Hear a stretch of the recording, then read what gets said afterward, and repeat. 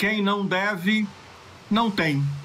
A frase vale para a maioria dos consumidores do país que vê na compra à prestação a única maneira de possuir alguma coisa. Ruim é quando a dívida sai do controle. E essa é a situação de 30% dos brasileiros, segundo pesquisa do SPC, o Serviço de Proteção ao Crédito. Outros 60% têm débitos atrasados, mas querem quitar até o fim do ano e começar 2021 com as contas zeradas.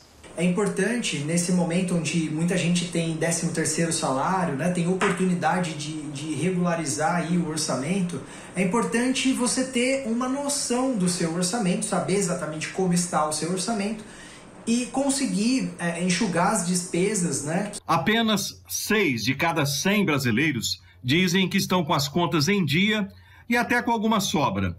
Para o economista, o índice é tão baixo porque o brasileiro tem pouca educação financeira. Alinhado, né, essa, esse baixo índice de educação financeira com uma oferta de crédito, né, financiamento imobiliário, financiamento de automóveis, isso acabou acaba é, consumindo parte do orçamento das famílias, né? Você reduz aquela quantia que pode ser destinada para a cesta básica, para a qualidade de vida, para o orçamento é, como um todo. E ainda vem a inflação, né? Como o ano de 2020 você ainda tem a inflação que acaba consumindo boa parte desse orçamento das pessoas.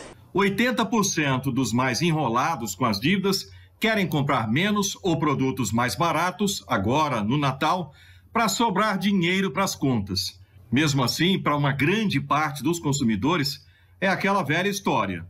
Devo, não nego, pago quando puder. Vai ficar para 2021 para pagar as contas. Foi difícil esse ano, né? 2021, 2022, 2023, como é que paga? Tem como não? Eu agora que eu comecei a trabalhar, com esse negócio de epidemia, eu fiquei desempregada, agora que eu comecei. Deu para zerar não, ainda tem. Para 2021. Até julho termina de quitar tudo.